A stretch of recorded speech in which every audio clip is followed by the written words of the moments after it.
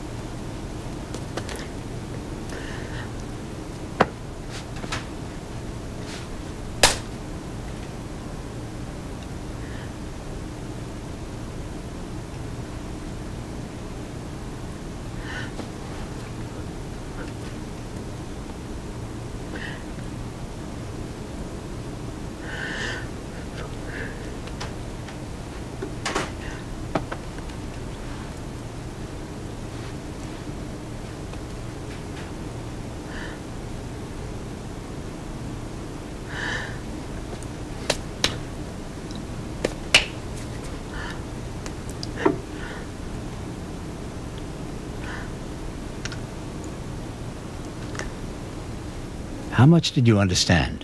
Now watch the story again with voice to help you.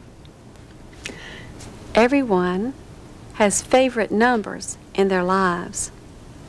For example, the number three. I have three children. I was born in 1933. I have three cats. Maybe you feel like that's nothing.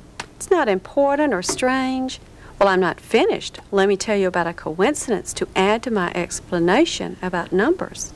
For example, my address, I live at 3601 Ridge Road.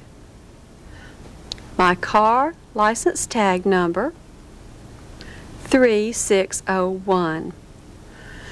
And you know the Social Security numbers? There are three sets of numbers. My Social Security card, the last four digits are 3601. And today, I just recently bought some food and it added up to how much? 3601. Isn't that strange?